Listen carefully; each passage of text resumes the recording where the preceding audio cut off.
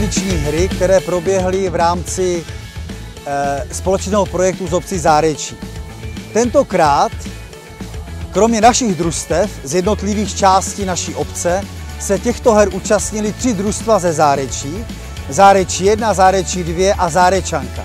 Bylo to naprosto skvělé.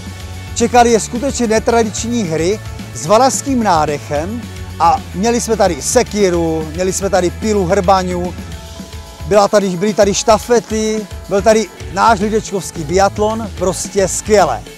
Někteří měli velké obavy se zapojit do těchto her, ale nakonec všichni byli úplně spokojení a užili si toho a říkali, že se vrátili někteří i do svého dětství a že byli moc rádi, že si takto zahráli.